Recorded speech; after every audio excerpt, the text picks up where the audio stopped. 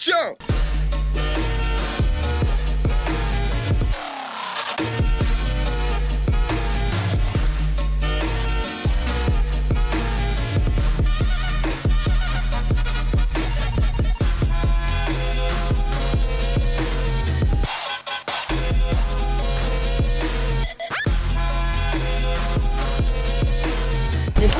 Négatifs ont un rôle positif aussi. On fait un saut vers un nouvel ordre, mais il faut de nouveau trouver l'équilibre.